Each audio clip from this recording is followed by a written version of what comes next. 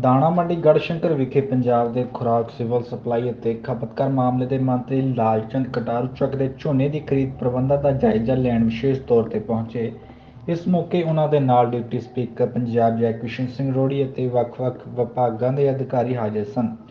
ਮੰਤਰੀ ਲਾਲਚੰਦ ਕਟਾਰੂ ਚੱਕ ਨੇ ਝੋਨੇ ਦੀ ਖਰੀਦ ਪ੍ਰਬੰਧਾਂ ਦਾ ਜਾਇਜ਼ਾ ਲੈਂਦੇ ਹੋਏ ਕਿਹਾ ਕਿ ਪੰਜਾਬ ਦੇ ਮੁੱਖ ਮੰਤਰੀ ਭਗਵੰਤ ਸਿੰਘ ਮਾਨ ਦੇ ਦਿਸ਼ਾ ਨਿਰਦੇਸ਼ਾਂ ਦੇ ਅਨੁਸਾਰ ਝੋਨੇ ਦੇ ਸੀਜ਼ਨ ਨੂੰ ਲੈ ਕੇ ਹਰ ਤਰ੍ਹਾਂ ਦੇ ਪੁਖਤਾ ਪ੍ਰਬੰਧ ਕੀਤੇ ਜਾ ਰਹੇ ਹਨ, ਜਿਨ੍ਹਾਂ ਦਾ ਜਾਇਜ਼ਾ ਲੈਣ ਲਈ ਹਰ ਰੋਜ਼ ਉਹਨਾਂ ਵੱਲੋਂ ਮੰਡੀਆਂ ਦਾ ਦੌਰਾ ਕਰਕੇ ਖਰੀਦ ਪ੍ਰਬੰਧਾਂ ਦਾ ਜਾਇਜ਼ਾ ਲਿਆ ਜਾ ਰਿਹਾ ਹੈ। ਉਹਨਾਂ ਨੇ ਕਿਹਾ ਕਿ ਪੰਜਾਬ ਦੇ ਦੋ ਸੀਜ਼ਨ ਝੋਨਾ ਤੇ ਕਣਕ ਪੰਜਾਬ ਦੀ ਆਰ- ਆਰਥਿਕਤਾ ਤੇ ਵੱਡਾ ਅਸਰ ਪਾਉਂਦੇ ਹਨ, ਜਿਸ ਨੂੰ ਮੁੱਖ ਰੱਖਦੇ ਹੋਏ ਕਿਸਾਨਾਂ ਨੂੰ ਕਿਸੇ ਵੀ ਤਰ੍ਹਾਂ ਦੀ ਪਰੇਸ਼ਾਨੀ ਨਹੀਂ ਆਉਣ ਦਿੱਤੀ ਜਾਵੇਗੀ। ਜਿਸ ਤਰ੍ਹਾਂ ਤੁਹਾਨੂੰ ਸਭ ਨੂੰ ਪਤਾ ਕਿ ਪੰਜਾਬ ਦੇ ਅੰਦਰ ਪਹਿਲੀ ਤਰੀਕ ਤੋਂ ਝੋਨੇ ਦੀ ਖਰੀ- ਸਰਕਾਰੀ ਖਰੀਦ ਦਾ ਸੀਜ਼ਨ ਸ਼ੁਰੂ ਹੋਇਆ। ਮਾਨਯੋਗ ਮੁੱਖ ਮੰਤਰੀ ਸਰਦਾਰ ਭਗਵੰਤ ਸਿੰਘ ਮਾਨ ਜੀ ਦੀ ਅਗਵਾਈ ਦੇ ਵਿੱਚ ਪੰਜਾਬ ਦੇ ਅੰਦਰ ਜਿਹੜੇ ਪੈਡੀ ਦੀ ਪ੍ਰੋਕਿਉਰਮੈਂਟ ਨੂੰ ਲੈ ਕੇ ਪ੍ਰਬੰਧ ਨੇ ਸੋ ਉਹਨਾਂ ਪ੍ਰਬੰਧਾਂ ਦਾ ਜਾਇਜ਼ਾ ਲੈਣ ਦੇ ਲਈ ਅੱਜ ਮੈਂ ਅ, ਗੜ੍ਹ ਸ਼ੰਕਰ ਮੰਡੀ 'ਚ ਆਇਆ। ਔਰ ਮੇਰੇ ਨਾਲ ਮੇਰੇ ਬਹੁਤ ਹੀ ਪਿਆਰੇ ਅਜ਼ੀਜ਼ ਮੇਰੇ ਮਿੱਤਰ ਮੇਰੇ ਦੋਸਤ ਤੇ ਡਿਪਟੀ ਸਪੀਕਰ ਪੰਜਾਬ ਵਿਧਾਨ ਸਭਾ ਅਰੋੜੀ ਸਾਹਿਬ ਜੀ ਮੇਰੇ ਸਮਸਤ ਅਧਿਕਾਰੀ ਸਹਿਬਾਨ। ਸੋ ਹਰ ਰੋਜ਼ ਕਿਸੇ ਨਾ ਕਿਸੇ ਜ਼ਿਲ੍ਹੇ ਦੇ ਅੰਦਰ ਇਸ ਕਿਸਮ ਦਾ ਜਿਹੜਾ ਉਹ ਵਿਜ਼ਿਟ ਕੀਤੀ ਜਾ ਰਹੀ ਹੈ। ਸੋ ਪੰਜਾਬ ਦੇ ਅੰਦਰ ਦੋ ਸੀਜ਼ਨ ਪੰਜਾਬ ਦੀ ਇਕਨੋਮੀ ਨੂੰ ਬਹੁਤ ਵੱਡਾ ਹੁਲਾਰਾ ਦਿੰਦੇ ਆ। ਕਣਕ ਦਾ ਸੀਜ਼ਨ ਔਰ ਝੋਨੇ ਦਾ। ਪੰਜਾਬ ਦੀ ਆਰਥਿਕਤਾ ਦੇ ਉੱਤੇ ਬਹੁਤ ਵੱਡਾ ਇਹਨਾਂ ਦਾ ਅਸਰ ਹੈਗਾ, ਬਹੁਤ ਵੱਡਾ ਰੋਲ ਹੈ। ਸੋ ਇਸ ਸੀਜ਼ਨ ਨੂੰ ਲੈ ਕੇ ਪੰਜਾਬ ਦੇ ਅੰਦਰ ਨਾ ਕਿ ਕੇਵਲ ਕਿਸਾਨਾਂ ਨੂੰ, ਬਲਕਿ ਸਾਡੇ ਮਿਲਰ ਨੂੰ, ਸਾਡੇ ਆੜਤੀਆਂ ਨੂੰ, ਸਾਡੇ ਮਜ਼ਦੂਰਾਂ ਨੂੰ ਇੱਕ ਵੱਖਰਾ ਚਾਹ ਹੁੰਦਾ ਇਸ ਸੀਜ਼ਨ ਨੂੰ ਲੈ ਕੇ। ਸੋ ਅੱਜ ਮੈਂ ਗੜ੍ਹ ਸ਼ੰਕਰ ਮੰਡੀ 'ਚ ਆਇਆ ਔਰ ਆਮ ਤੌਰ ਤੇ ਕਿਸਾਨ ਦੀਆਂ ਦੋ ਚਿੰਤਾਵਾਂ ਹੁੰਦੀਆਂ ਨੇ ਸੀਜ਼ਨ ਨੂੰ ਲੈ ਕੇ। ਲੋੜਾਂ ਕਹਿ ਲਓ, ਚਿੰਤਾਵਾਂ ਲੈ ਲਓ। ਇੱਕ ਤਾਂ ਉਹਦੀ ਚਿੰਤਾ ਇਹ ਹੁੰਦੀ ਹੈ ਕਿ ਮੇਰਾ ਜਿਹੜਾ ਉਹ ਨਾਸ ਜਿਹੜਾ ਬੜੀ ਮਿਹਨਤ ਨਾਲ ਧੀਆਂ ਪੁੱਤਾਂ ਵਾਂਗ ਮੈਂ ਫਸਲ ਨੂੰ ਪਾਲਦਾ ਉਹ ਮੰਡੀ 'ਚ ਰੁਲੇ ਨਾ ਮੇਰਾ ਟਾਈਮ ਸਿਰ ਚੱਕਿਆ ਜਾਵੇ ਖਰੀਦਿਆ ਜਾਵੇ।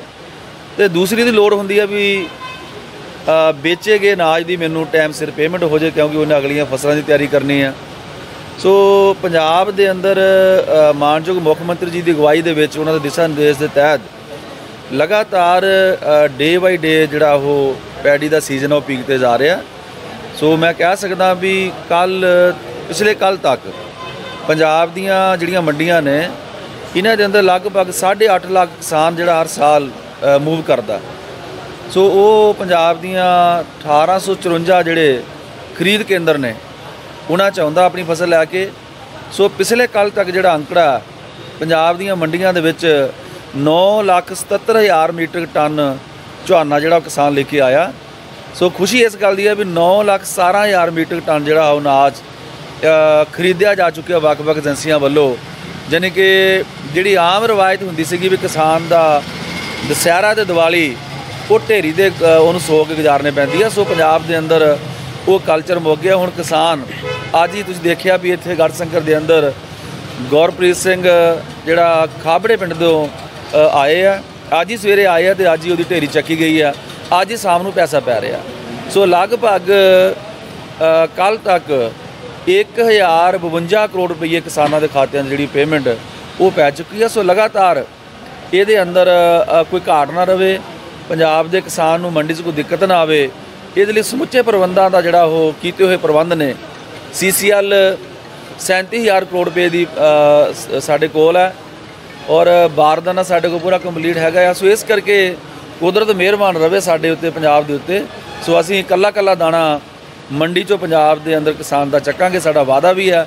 ਸੋ ਅੱਜ ਅਸੀਂ ਇੱਥੇ ਮੰਡੀ 'ਚ ਆਏ ਹਾਂ। ਇਸ ਤੋਂ ਬਾਅਦ ਅਗਲੇ ਪੜਾਵਲ ਜਾਣਾ ਸੈਲਾ ਖੁਰਦ ਮੰਡੀ ਦੇ ਵਿੱਚ। ਸੋ ਮੇਰੀ ਪੰਜਾਬ ਦੇ ਕਿਸਾਨਾਂ ਨੂੰ ਇਹ ਬੇਨਤੀ ਹੈ ਵੀ ਕਿਸੇ ਵੀ ਕਿਸਮ ਦੀ ਉਹ ਮਨ ਦੇ ਵਿੱਚ ਚਿੰਤਾ ਨਾ ਰੱਖਣ। ਚੜ੍ਹਦੀ ਕਲਾ ਚਾਹਣ ਮੰਡੀ ਦੇ ਅੰਦਰ ਸਾਰੇ ਪ੍ਰਬੰਧ ਕੀਤੇ ਆ। 24 24 ਘੰਟਿਆਂ ਦੇ ਵਿੱਚ ਪੈਸੇ ਉਹਨਾਂ ਦੇ ਖਾਤੇ ਦੇ ਵਿੱਚ ਪਾਉਣ ਦਾ ਉਹ ਬੜਾ ਸ਼ਾਨਦਾਰ ਜਿਹੜਾ ਉਹ ਮਤਲਬ ਚੱਲ ਰਿਹਾ ਦੌਰ। ਸੋ ਇੱਕੇ ਸਾਡੀ ਬੇਨਤੀ ਹੈ ਕਿ ਆਪਣੀ ਫਸਲ ਨੂੰ ਸਵਾਰ ਕੇ ਲੈ ਕੇ ਮੰਡੀ ਜਾਣ ਤਾਂ ਜੋ ਇੱਥੇ ਕੋਈ ਦਿੱਕਤ ਨਾ ਆਵੇ।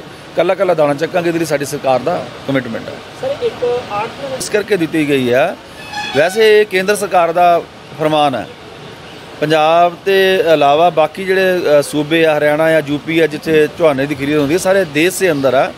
ਪਰ ਕਿਉਂਕਿ ਆਲਰੇਡੀ ਕਿਸਾਨ ਦਾ ਜਿਹੜਾ ਰਿਕਾਰਡ ਆ ਉਹ ਸਾਡਾ ਜਿਹੜਾ ਅਨਾਜ ਖਰੀਦ ਪੋਰਟਲ ਆ ਉਹਦੇ ਉੱਤੇ ਅਵੇਲੇਬਲ ਹੈਗਾ। ਪਰ ਉਹਨੂੰ ਜਸਟੀਫਾਈ ਕਰਨਾ ਹੁੰਦਾ ਕਈ ਵਾਰ ਵੀ ਕੋਈ ਹੋਰ ਸਾਈਡ ਤੋਂ ਅਨਾਜ ਤਾਂ ਨਹੀਂ ਆ ਰਿਹਾ। ਇਸ ਕਰਕੇ ਉਹ ਮੁੱਠਾ ਲਾਉਣ ਦੀ ਜਿਹੜਾ ਉਹ ਪੰਜਾਬ ਦੇ ਅੰਦਰ ਪ੍ਰਕਿਰਿਆ ਚੱਲ ਰਹੀ ਹੈ। ਪਰ ਜੇ ਕਿਸੇ ਦਾ ਬਾਈ ਚਾਂਸ ਨਾ ਵੀ ਲੱਗੇ ਤਾਂ ਉਹਨੂੰ ਇਹ ਚਿੰਤਾ ਨਹੀਂ ਕਰਨੀ ਚਾਹੀਦੀ ਵੀ ਉਹਦੀ ਕਿਤੇ ਫਸਲ ਦੇ ਪੇਮੈਂਟ ਲੇਟ ਹੋਊਗਾ ਜਦਾਂ ਇਹ ਇੱਕ ਪਾਇਲਟ ਪ੍ਰੋਜੈਕਟ ਜਿਹੜਾ ਪੰਜਾਬ ਸ਼ੁਰੂ ਕੀਤਾ ਸੋ ਉਹਦੇ ਬਿਹੇਵ ਤੇ ਕੋਈ ਵੀ ਚਾਹੇ ਉਹਦਾ ਕੋਈ ਨੌਕਰ ਆ ਜਾਵੇ ਚਾਹੇ ਉਹਦੇ ਘਰ ਦਾ ਜੀ ਆ ਜਾਵੇ ਉਹ ਵੀ ਆਪਣਾ ਗੁੱਠਾ ਲਾ ਸਕਦਾ। ਅਦਰਵਾਈਜ਼ ਜੇ ਗੁੱਠਾ ਨਾ ਲੱਗੇ ਤਾਂ ਕਿਸੇ ਕਿਸਮ ਦੀ ਕਿਸਾਨ ਨੂੰ ਦਿੱਕਤ ਨਹੀਂ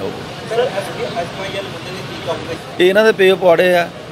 ਅੱਜ ਕਿਹੜੇ ਮੂੰਹ ਨਾਲ ਅਕਾਲੀ ਜਾਂ ਕਾਂਗਰਸ ਜਿਹੜੇ ਐਸਵਾਈਐਲ ਦੇ ਉੱਤੇ ਗੱਲ ਕਰਦੇ ਆ, ਜਿਨ੍ਹਾਂ ਨੇ ਆਪ ਸੋਨੇ ਦੀਆਂ ਕਈਆਂ ਲਾ ਕੇ ਉੱਥੇ ਟੱਪ ਲਾਏ ਆ। ਜਿਨ੍ਹਾਂ ਨੇ ਆਪ ਹਰਿਆਣੇ ਦੇ ਅੰਦਰ ਪ੍ਰਕਾਸ਼ ਸਿੰਘ ਬਾਦਲ ਜੀ ਨੇ ਦੇਵੀ ਲਾਲ ਨਾਲ ਸਮਝੌਤਾ ਕਰਕੇ ਸਾਰੇ ਕੰਡੇ ਵੇਚਿਆ ਸੋ ਮਾਨਯੋਗ ਮੁੱਖ ਮੰਤਰੀ ਬਹੁਤ ਕਲੀਅਰ ਕਰ ਚੁੱਕੇ ਆ, ਪੰਜਾਬ ਸਰਕਾਰ ਕਲੀਅਰ ਕਰ ਚੁੱਕੀ ਆ।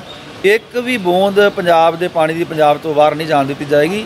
ਪੰਜਾਬ ਦੇ ਪਾਣੀ ਦੀ ਰਾਖੀ ਕਰਾਂਗੇ ਡਟ ਕੇ ਸਭ ਤੋਂ ਪਹਿਲਾਂ ਮਾਨਯੋਗ ਮੁੱਖ ਮੰਤਰੀ ਭਗਵੰਤ ਮਾਨ ਜੀ ਦਾ ਹਲਕਾ ਗੜਸ਼ੰਕਰ ਵੱਲੋਂ ਅਸੀਂ ਸਾਰੇ ਬਹੁਤ ਧੰਨਵਾਦ ਕਰਦੇ ਹਾਂ ਕਿਉਂਕਿ ਕੰਢੀ ਕਨਾਲ ਨਹਿਰ ਜਿਹੜੀ ਸੀਗੀ ਕਾਫੀ ਟਾਈਮ ਤੋਂ ਬੰਦ ਪਈ ਸੀ ਔਰ ਇਸ ਸਾਲ ਚੱਲੀ ਹੈ, ਜਿਹਦੇ ਨਾਲ ਝੋਨੇ ਦੀ ਜਿਹੜੀ ਪੈਦਾਵਾਰ ਵੀ ਵਧੀ ਹੈ ਔਰ ਜਿਹਦੇ ਨਾਲ ਕੁਆਲਿਟੀ ਵੀ ਫ਼ਰਕ ਆਇਆ। ਔਰ ਇਹਦੇ ਨਾਲ ਨਾਲ ਸਾਡੇ ਮਾਨਯੋਗ ਕੈਬਨਿਟ ਮੰਤਰੀ ਕਟਾਰੂ ਚੱਕ ਸਾਹਿਬ ਅੱਜ ਗੜਸ਼ੰਕਰ 'ਚ ਆਏ ਆ। ਅਸੀਂ ਇਹਨਾਂ ਨੂੰ ਜੀ ਆਇਆਂ ਆਖਦੇ ਹਾਂ ਔਰ ਇਹਨਾਂ ਦੀ ਯੋਗ ਜਿਹੜੀ ਨਿਗਰਾਨੀ ਹੈ, ਉਹਦੇ ਹੇਠ ਪ੍ਰਬੰਧ ਬਹੁਤ ਚੰਗੇ ਚੱਲ ਰਹੇ ਆ। ਅੱਜ ਕਿਸਾਨ ਦੇ ਨਾਲ ਨਾਲ ਸਾਡੇ ਆੜਤੀ ਵੀਰ ਮਜ਼ਦੂਰ ਇੱਥੇ ਸਾਰਾ ਵਰਗ ਖੁਸ਼ੀ ਸੀ ਔਰ ਸਾਨੂੰ ਸਪੈਸ਼ਲ ਅੱਜ ਇੱਥੇ ਗੱਲ ਸੁਣਨ ਨੂੰ ਮਿਲੀ ਕਿ 35 ਸਾਲ ਬਾਅਦ ਕਿ ਗੱਲ ਹੋਈ ਹੈ ਕਿ ਅੱਜ ਕਿ ਜਿਹੜੀ ਢੇਰੀ ਫਸਲ ਆਈ ਹੈ ਤੇ ਨਾਲ ਦੀ ਨਾਲ ਚੱਕੀ ਗਈ ਹੈ।